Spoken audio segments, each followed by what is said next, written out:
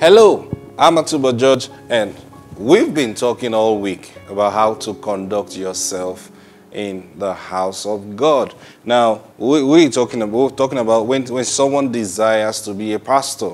See, and he, over here, First Timothy chapter 3, he used the word bishop. And I explained to you that bishop here doesn't mean like the bishop we know now to wear long cap and see someone as grad. No, no, no. He's talking about someone who wants to be an overseer.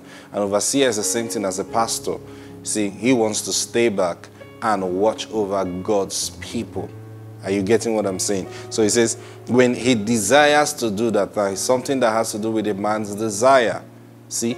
So when a man desires to do that, then he says it's a good thing that he's desired to be. But then he gives the quality because he don't put anyone to watch over God's people.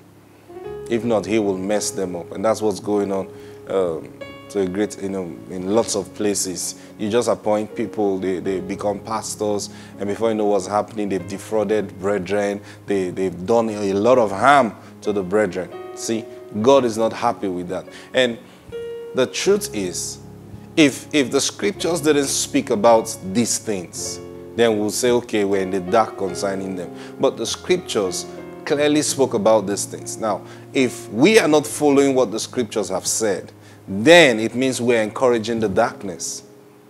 You understand what I'm saying? We're encouraging the darkness. So he says, first of all, he, this person must be blameless. So before you anoint or appoint anyone to become a pastor, he's got to be blameless.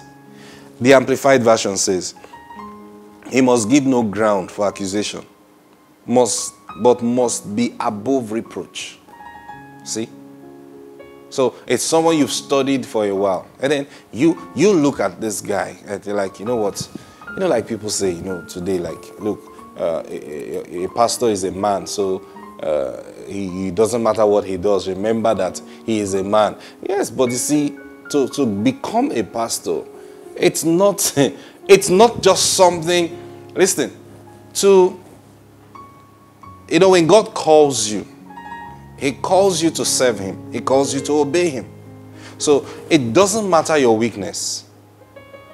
Understand what I'm talking about? It doesn't matter your weakness. The God who calls you, the more you follow Him and learn of Him, every weakness in you will go. So naturally, when you're walking with God, there will be a renewal taking place in your life. So certain things that were habits before, that definitely will leave naturally because you're following the Lord.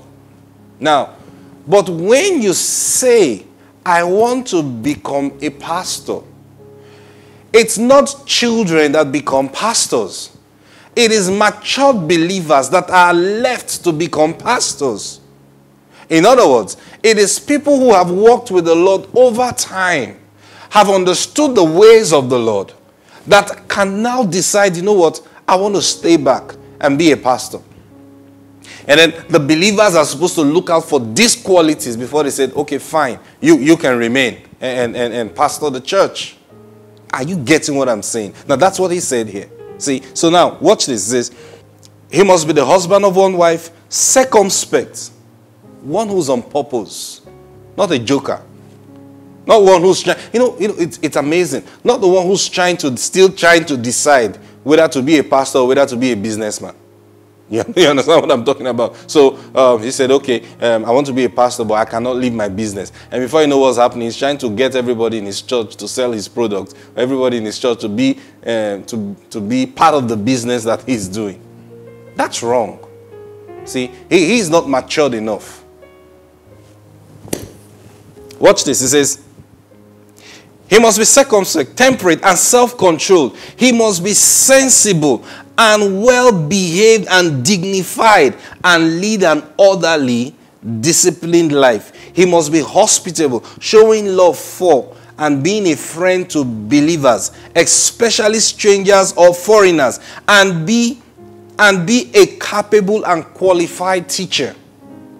A pastor is a teacher. Naturally, a pastor must be a teacher.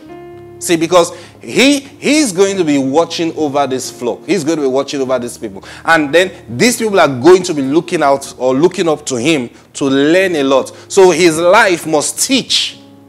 A pastor is the one who will tell, he, who will tell you, why are you drinking tea this morning? And he can give you one hour teaching from the word of God why he's drinking tea in the morning. I'm telling the truth. Why are you wearing that shirt? I notice you love wearing this kind of shirt. And he will tell you teachings from the word of God. That's who a pastor is. Everything about him is teaching. Now that means a pastor doesn't have a dark side.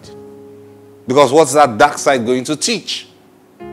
He cannot have a dark side. So when the Bible says a pastor should be, should be apt to teach, it means that look, everything about him, he is ready, not just explain, no, teach.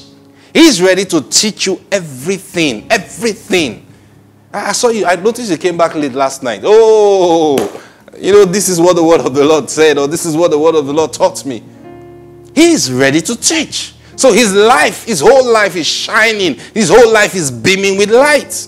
That's who a pastor is supposed to be. Is a higher calling.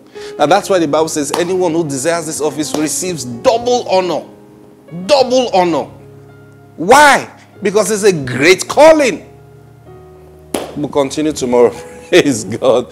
But I pray that your eyes of understanding be enlightened and that you will understand what God is doing in this season and in this time. In the name of the Lord Jesus Christ. Amen. God bless you. Bye bye.